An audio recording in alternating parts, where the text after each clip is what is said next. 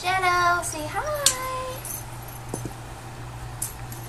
What do you think, Shadow? You like your new home?